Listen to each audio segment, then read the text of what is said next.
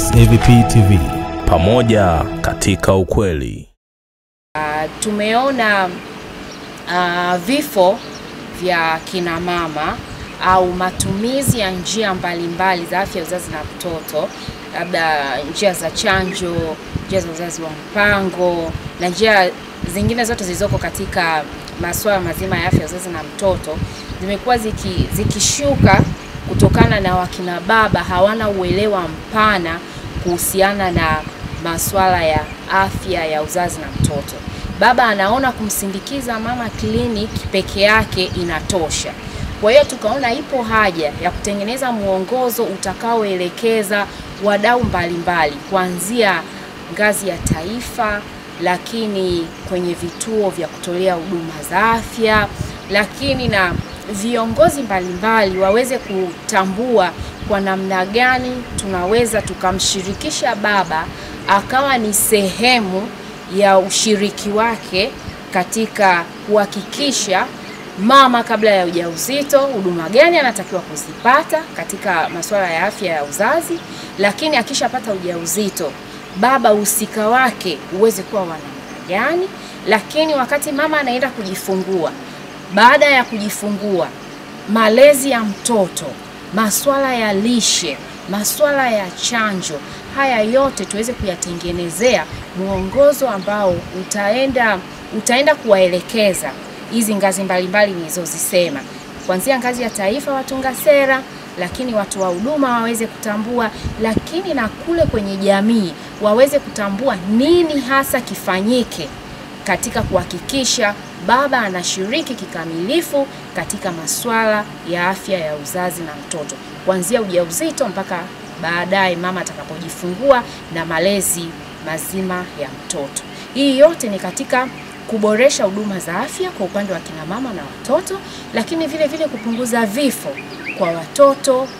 wachanga na watoto ambao wako chini ya miaka mitano, lakini kupunguza vifo pia vya kina mama wakati wa ujauzito na kipindi cha kujifungua. Kwa hiyo tunaona mwongozo huu utakapokamilika, maana hiki ni kikao cha kwanza, tunategemea tutakuwa na vikao vingine mbele katika kukamilisha huu mwongozo. Kwa hiyo mwongozo utakapokamilika utatupa dira ya nini tuweze kukifanya ili wakina baba wawe ni sehemu ya kuhakikisha tunaokoa maisha ya wakina mama na watoto wadogo wasiweze kupoteza maisha na vile vile kuhakikisha tunaenda kuboresha afya zao.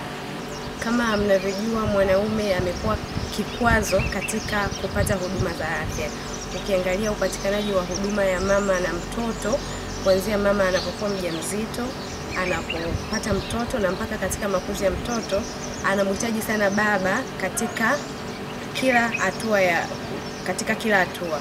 Kwa hiyo baba atakapokuwa anashiriki vizuri na kuweza kumsapoti mama katika kupata huduma za afya,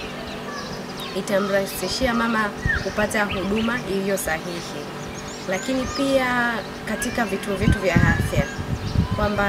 tulikuwa tunaona ni kwamba ni mama tu ambaye alikuwa akienda kupata huduma katika vituo vya afya, lakini katika mwongozo huu ambao unatoa huduma rafiki kwa wanaume kwamba vituo vitakuwa vinatoa zile huduma ambazo ni rafiki kwa wanaume ikiwa ni masaa ya ziada ambayo wanaume watakuwa wanakwenda kupata huduma. Kama tunavyojua wanaume upatika kwenda kwenye kituo cha afya inakuwa ni ni ngumu kidogo kutokana na majukumu yao ya kila siku, lakini pindi vituo ambavyo vitakuwa pindi vituo vitakavyokuwa vinatoa huduma masaa ya ziada, ni rahisi kwa wanaume kwenda kupata huduma za afya, lakini pia watapewa vipimo vya ziada kama kupima pressure, kupima HIV. Hivyo vyote vitakuwa vinamvuta mwanaume katika kupata huduma. Um, kuhusu mwongozo huu hapa wa ushirikishaji wa wanaume utakuwa na fursa na faida kubwa kwetu sisi wanaume, kwa sababu kwa muda mrefu sana tumekuwa tuko nje katika ushirikishwaji. Wamama zetu wamekuwa, wake zetu, mabinti zetu wamekuwa wakienda kwenye vituo vya afya kupata huduma, lakini sisi tumekuwa ni kikwazo kwenye hiyo huduma, kwa sababu hatulikuwa tujui mantiki haswa ya ushirikishwaji. Kwa hiyo kwa kupitia hawala hii ya matengenezo haya ya mwongozo huu, sasa inatupa fursa nzuri sana ya kujua uh, ni huduma zipi ambazo sisi kama wababa tunatakiwa tushiriki. Kwa mfano, tulikuwa tujui ushirikishwaji katika mantiki ya kumsindikiza mama kipindi akiwa mjamzito, kwamba tunatakiwa sote twende kliniki ile hudhurio la kwanza ili tuweze kuwa, tuweze kupimwa um, maambukizo ya ukimwi, lakini tuweze kupata ushauri namna gani ya kuweza kumlinda mama pale ambapo anaonekana kuna dalili za hatari ambazo zinaweza zikapelekea um, mimba kuharibika ama kupata madhara mengine. Lakini sasa katika uh, mwongozo huu ama mwongozo huu uliotengenezwa umejikita moja kwa moja kwa moja kuhakikisha kwamba mwanamume anashirikishwa namna gani ya kuweza kumsindikiza mwenza wake ama mke wake kwenda kliniki ili kuweza kupata hizo huduma. Kuna masuala ya njia ya uzazi wa mpango, tumekuwa sisi tuko nyuma sana katika ushirikishwaji huu. Sasa ni wakati mwafaka, ni wakati sahihi kwa wababa wote kama mimi, wale wanaosikiliza walioko Tanzania bara na visiwani, kuhakikisha kwamba ni jukumu letu sisi kuweza kuwaruhusu wake zetu kuwa na namna ama mpango sawia ya kuweza kupanga uzazi na kuchagua njia sahihi ambayo itakuwa ni rahisi kwetu sisi, yeye na mimi kama baba, kuhakikisha tunaipa nafasi ama muda wa makuzi ule mtoto ambaye amejaliwa na kuhakikisha tunaboresha afya ya mama na mtoto wake. Lakini kuna masuala mengine ambayo mwongozo huu unaangalia katika masuala mazima ya vijana. Tuna vijana wetu ambao sasa tunatakiwa sisi tuwe mabalozi wa kuweza kuzungumza nao kuhusu afya ya uzazi, hasa vijana wetu wa kike wakiwa mashuleni, tunatakiwa basi tuweze kuwahimiza ili waweze kupata elimu kuhusu kujikinga na maambukizi mapya, lakini kujikinga na masuala ya ukatili pale ambapo mwalimu ama kundi la mtu, kundi la watu ambao wako naye karibu, marafiki wanaoweza wanaoweza wakamshawishi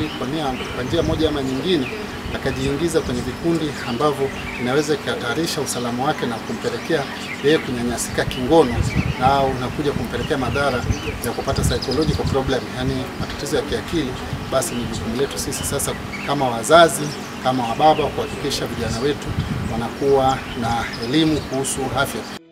Don't, don't, don't forget to subscribe, to like, share, and comment.